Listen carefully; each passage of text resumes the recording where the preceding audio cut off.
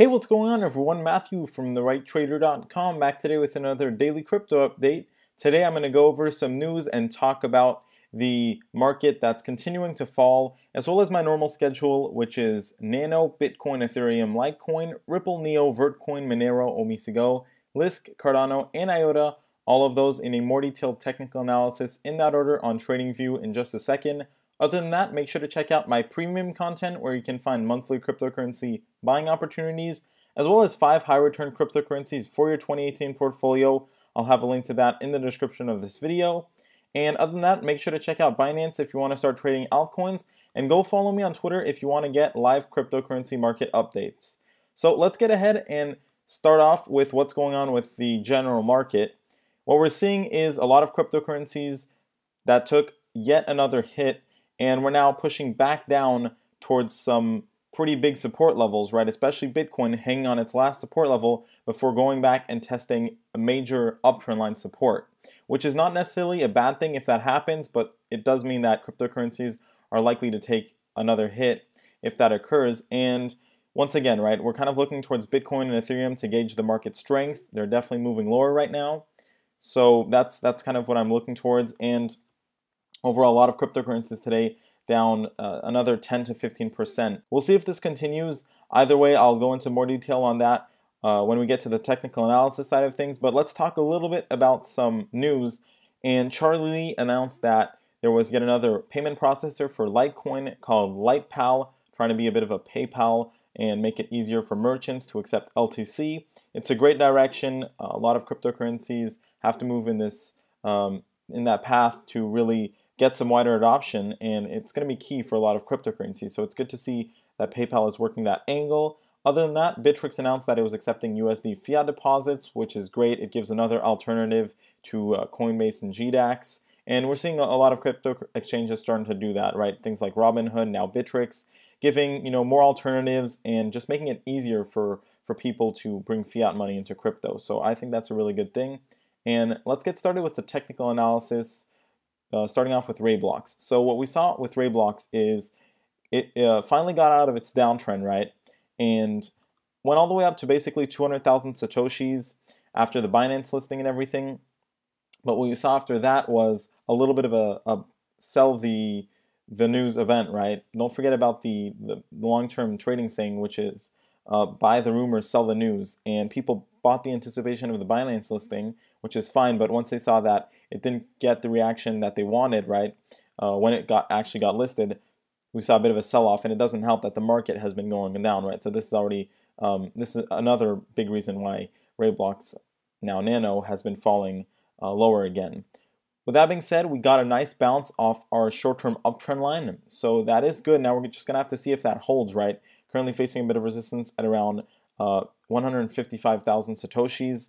Currently breaking a little bit above that. We're, we're you know testing the the downtrend line here, the short-term downtrend line. That's ultimately what we want to get out of to move back towards 180,000 satoshis and and hopefully even 200,000 satoshis. But considering that the market is still weak right now and that could definitely continue a bit longer, we can't know for sure, right? And we have to be a bit more uh, cautious. So as for some support levels, if we do end up losing the uptrend line support, next big one is going to be at around uh, 126,000 satoshis.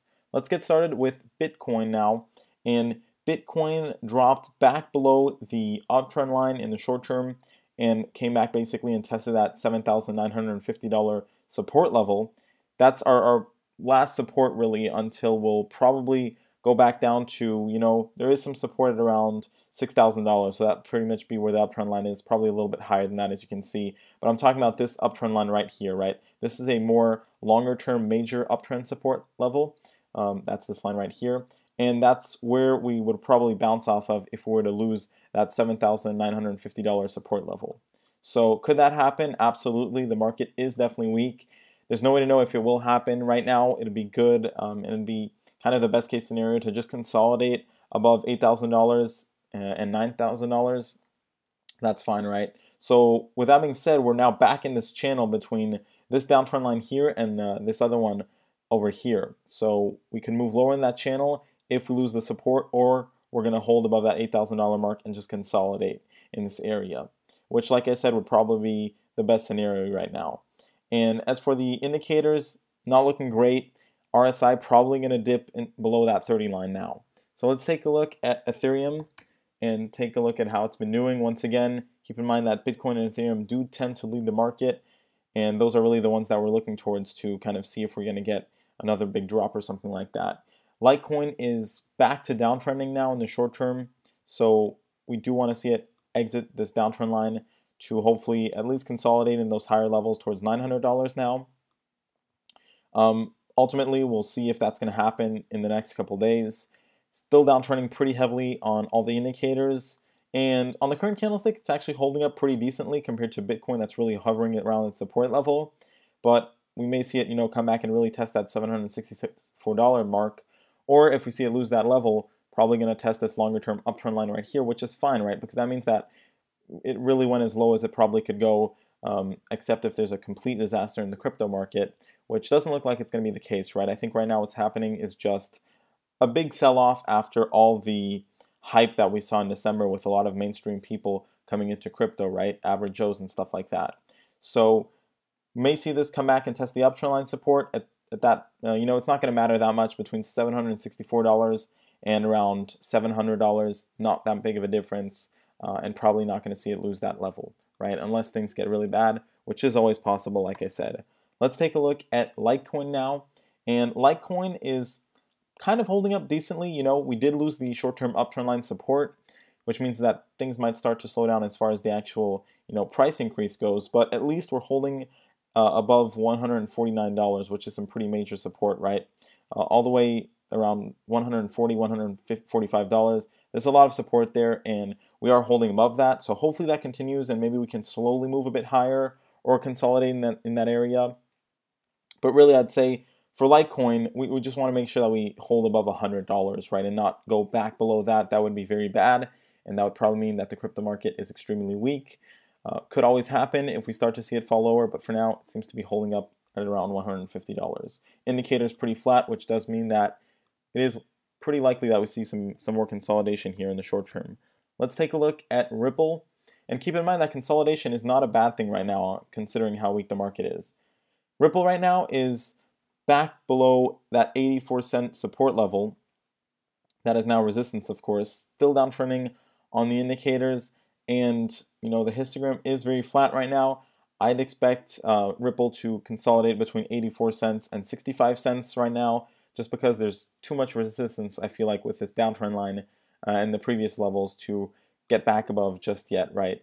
Let's take a look at NEO now and see what NEO has been up to. Uh, NEO and Ethereum have been the stronger cryptocurrencies recently, so we'll see if that continues throughout this weaker period in the market. But right now, NEO got a bounce off that $100 mark, and it's still pretty close to that level, currently trading at $107, right below the um, kind of on the, the lower Bollinger Band right now. As for the indicators, still downtrending. Probably going to see NEO kind of bounce up and down. Um, basically, this little symmetrical triangle that we have going on right here, right? And we'll see. We'll see if it holds $100. Hopefully, it doesn't go lower than $85 because that would be kind of the, the last big support level before pretty major drop all the way back down to, you know, 50 even $40, right? Let's take a look at our next cryptocurrency, which is going to be Vertcoin, and let's see how Vertcoin has been holding up. So Vertcoin lost the $3.23 support level after acting very weak and you know really just hanging right above it. Finally lost that support level. Now, unless we see it bounce pretty quickly, get back above $3.23, we're probably going to see Vertcoin fall all the way down to either $2 at best, or what's more likely is the bigger support level at $1.54, right? This is further confirmed and likely by the fact that we're downtrending now on the RSI, getting very close to that 30 line. Once we break below that 30 line on the RSI, probably going to mean that we're really, you know, in a pretty weak period for Vertcoin at least. Let's take a look at the next cryptocurrency, which is going to be Monero, and see how Monero has been doing. So Monero is currently tra trading at $219, uh, still downtrending on a lot of indicators, maybe flattening out a little bit on the RSI, nothing too significant. Histogram is pretty flat right now as well. That tells me that we're probably just going to continue our consolidation between $200 and $257, currently experiencing a very flat candlestick. So let's go over to our next cryptocurrency, which is going to be, I need to pull out my list here, um, Omisego, and let's see what Omisego has been doing.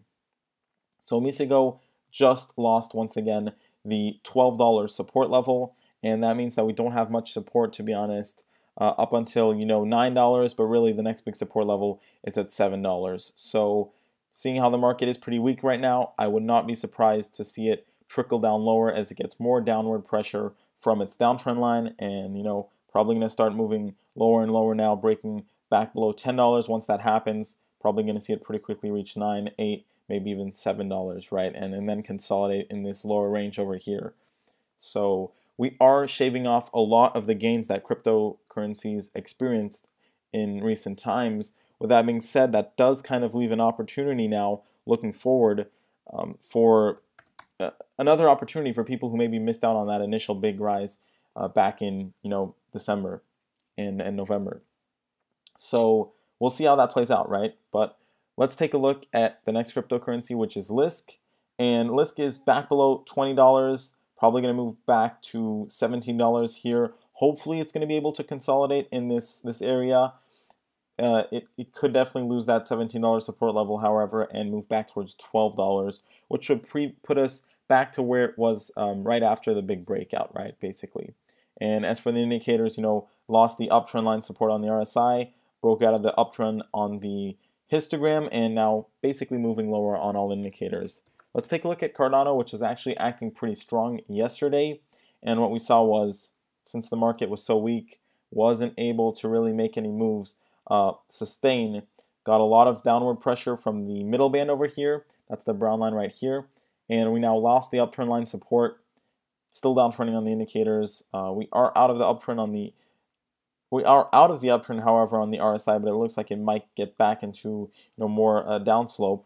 And really, what I'd say right now is we're still in our range between 4,000 satoshis and 5,125 satoshis.